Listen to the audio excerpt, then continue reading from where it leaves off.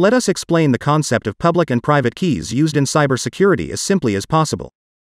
Imagine in the physical world, Anna locks up a box of secrets and send it over to Brandon. Brandon doesn't have the key, so Anna needs to send the key as a separate parcel. What if someone steals the key and open the box along the way? They can use public and private keys.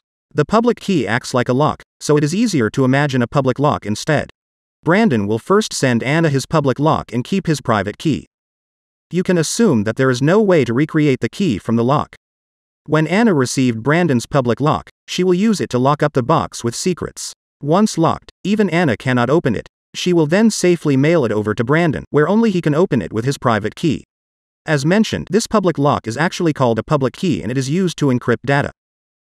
You can distribute your public key to anyone on the internet to encrypt data before sending it to you. This data can then only be unlocked with your private key, but not the public one.